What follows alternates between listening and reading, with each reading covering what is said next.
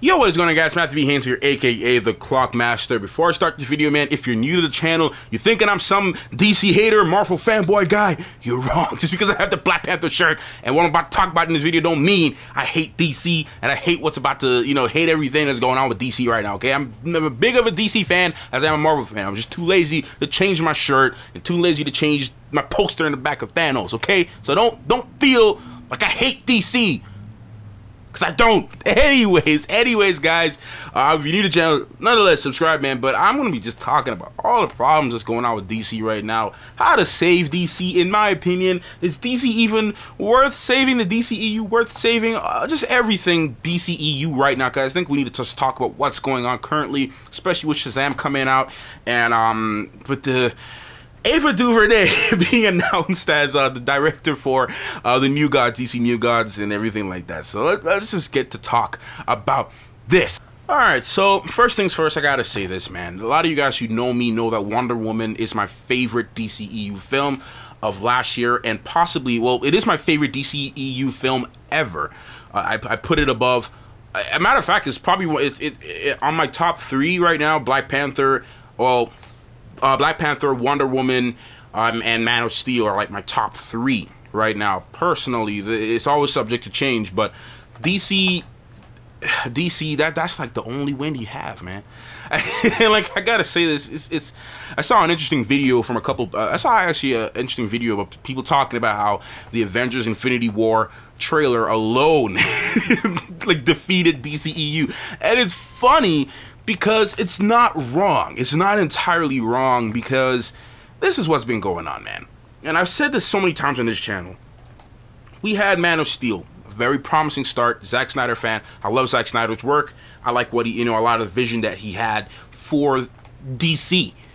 And Man of Steel was good. Like I said, it still stands as one of my favorites. Mainly, uh, a lot of the reasons too is cinematography stuff, choreography for the fighting scenes, and of course the score by Hans Zimmer, who's my favorite composer ever. You guys know this. So some of you guys know this. So there's that, and you had Batman versus Superman, which was just a very big disappointment in the theaters. And then when I saw the Ultimate Edition, the extended version, I was like, okay, so this is something close to what Zack Snyder was trying to do for this franchise.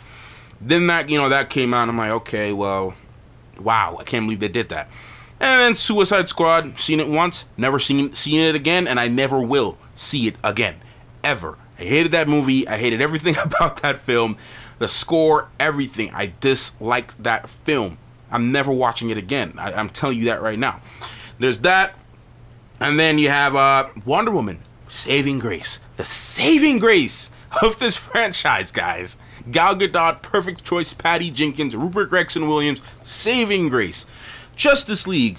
Now, this big thing surrounding Justice League is the Snyder Cut. Where is the Snyder Cut? We didn't get it, and it doesn't look like we're going to get it anytime soon. Big petitions were going out uh, for months. I signed the petition myself. Nothing has happened, and it looks like nothing's ever going to happen with the Zack Snyder Cut. We got a very cut up version of what could have been a very great movie. Justice League was an enjoyable film. I didn't hate it. I didn't love it either. There had some picky things I had about it, but then I just looked at it as a fun action movie. It was cool seeing all these heroes that I really do love and adore because DC Comics, I, I personally prefer to read DC Comics over Marvel comic books because right now Marvel comic books are kind of boring right now. DC's kind of killing it right now in the comic book world. Um, so it's kind of you know fun seeing some of my favorite characters. Flash being one of my favorites, Wonder Woman being one of my favorite characters, and Batman and Superman. Literally, those are like my four favorites. And well, my top, you know, and just seeing them all together, seeing Aquaman, what Jason Momoa did with it, I just thought it was a great film as far as, you know, the the idea was great. Was it a great film in itself? Not really.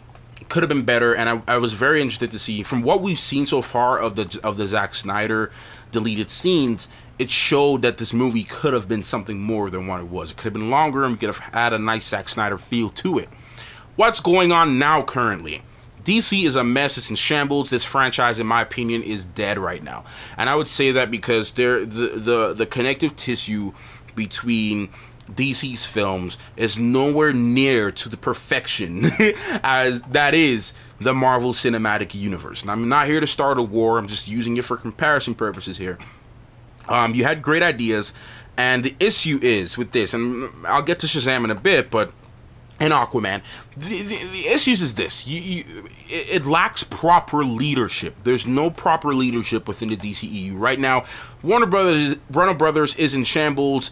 DC itself is in shambles, switching leaders like hell, switching directors like hell, switching everything. Like no one, I feel like no one is on the same page over at Warner Brothers. No one is on the same page at DC. You have an issue when your DC TV shows are better than all their movies combined. You had the the the Crisis on Earth X crossover. You had the uh, cross uh, the the other crossover from uh, last year with all the DC TV shows, and they are done so much better than these movies. The Crisis on Earth, on Earth X, and then again, it's a TV show, so you have more time to develop characters, to, you know, to write stuff, change stuff midway. You you kind of have more time to play around with certain things. You have more episodes to do that. But you have it's an issue when a TV show is better than a highly funded um, feature film and projects. It's an issue to me. That that's a main problem. And and there's like I said, there's no leadership within DCE. There's no leadership within any of this, and it's frustrating because I'm getting old, man. I ain't gonna be around forever, okay? I don't want to wait till I'm 92 and DC finally gets his act together. That, I mean, that that's gonna be really stressful. Now, Shazam. Shazam looks promising. Uh, Zachary Levi, I think I got his name right this time, looks promising. The suit looks promising, in my opinion. Um, now, I need to see a trailer. I need to hear some plot. I need to see some stuff. You know what I'm saying? When the movie comes out, we'll have to wait and see. Um, and then, of course, you have Aquaman. What has me excited for Aquaman is Rupert Gregson Williams on the score. That has me excited. Um, other than that, can these movies really save DC? These two movies? And then, of course, you have Wonder Woman 2 scheduled to come out. Which that I'm looking forward to. Um, because, of course, Patty Jenkins. But can these movies really save this franchise? And I say no. Because the thing is this you have how many movies? About 17, 18 movies in the Marvel Cinematic Universe right now. The first three movies, if you go from Iron Man, then you go to Thor, then you go to Iron Man 2. And you go, and well, if you want to include Incredible Hulk. Even that, if you want to include those, the first four to five movies of the Marvel Cinematic Universe have already shown more connection than the first four films of the DCEU. That's an issue. And, you know, yes, these movies will keep on getting made because performance wise and financially the DCEU has made profit. It has made a lot it has made a lot of money because people keep people like me keep going out to go watch these movies and, and, uh, and seeing it hoping that every time it will be better. And you know, we just keep watching it and so financially the movies have not been performing bad really. Um, well, unless you want to compare Black Panther and Justice League, which Black Panther made way more than Justice League within one week. and Justice League, I think, was in for two months, and it, it, it, made the same amount Black Panther made in like a week, which is crazy. Um, but there's no direct leadership. Okay, you have Kevin Feige from the Marvel Cinematic Universe that says, "Hey, from since day one, this is where we want to start, and this is where I want us to end." I want us to do this, and then I want us to end here. Inhumans was a, uh, was initially supposed to be a movie. They cut that out, put that to a show because they probably realized it wasn't going to work with this stuff. And this all what we're all we're having now has been planned since day one. DC had no plan. Since it's like even if they did have a plan, Zack Snyder had a plan. I know he had a plan. He definitely had a plan. And Warner Brothers is like, nope, nope, let's cut this, nope, let's cut that. Nah, we don't want that. We don't want this. Ah, bump your idea, bro. We don't care about you. Nope, nope, nope, nope, nope, nope, nope, nope. Disney's like this. He's like, hey, Kevin Feige, look, do what you gotta do. Just make us a lot of money. That's it. We're gonna give you two hundred million dollars for for Black Panther, or how much ever the budget was. You, you know, get whatever you need to do. Do whatever you need to do I don't care. Just make us some money. That's it. Just uh, you're in control of the creative process. You do what you got to do, Kevin. Okay, Kevin? I trust you, Kevin. Do what you got to do, Kevin. I trust you. Bring it back to me. Make us money. That's all we care about. You know, of course, yeah, of course, yeah, yeah. We, we care a little bit about the fans too because you know some fan service goes a long way. We at Disney, we know that. We know that fan service goes a long way. So you know, give them what they want to. You know, just make sure whatever you do, making some money. Warner Brothers, on the other hand, hey, uh, uh, uh Zack, um, uh, I don't like what you're doing with that. Uh, I think we'll make more money if if I come in into it. I, I, I think if I this imagine it's like this it's like a, it's like um the scene from the Infinity War trailer where Star Lord is like, hey look, I like your plan, but it sucks. Let me do the plan, and that way it might be good. That's exactly, exactly what I've seen so much memes about that. That's exactly what's going on at Warner Brothers. Like, you know what? Let, let, let me go in. Uh, no, no, no, Zack. You know what? No, no, no, no, no, no, no. I want you to make me money, but but but move this, move that. Nah, we don't even want that. Matter of fact, I might even want to talk to you about that. I'm gonna just go cut it.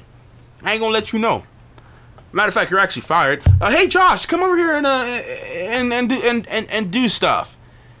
Do what you do just make sure that you, you leave that in and you cut that out. Okay, let's just cut this. Okay, cool. Okay, guys. Well, good job, fellas. Uh, let's go. That's what's going on right now. Sad. Anyways, uh, uh, what's going on with uh, you know Shazam and, and Aquaman? Like I said, like I said, Shazam. We need to see what what happens with that. Aquaman. We need to see what happened with that. Other than that, I'm very disappointed with what has been given to me, and I think the best step for DC right now, what DC needs to do, is rebrand. They need they need to do to reboot everything. I think they just need to take their time, get a good leader to plan out this universe. Plan it out, take your time. Do it all over again. I wouldn't mind, okay? I'm probably to be 42 when it happens, or maybe 50 when it happens. But just do it all over again and do it right. Do it right. Do it right from the beginning. The first three movies must connect. Do it right from the beginning, and I think we'll be on the right path. I think we'll be on the right path. Anyways, guys, y'all let me know in the comments what you thought, what you think about all this. Let me know what you think about all this. Do you think DC is officially dead? Do you think there's a chance to save DC? Do you think there's a chance to for it to redeem itself? You let me know in the comments, and I'll see y'all in the next one. Clockmaster out. Yo, thank you guys for watching this video. If you are new to the channel, please do not forget to subscribe by pressing that button right over there. And if you want to help support the channel financially, go ahead and visit my Patreon page by clicking that button over there. And don't forget to check out these brand new videos down below.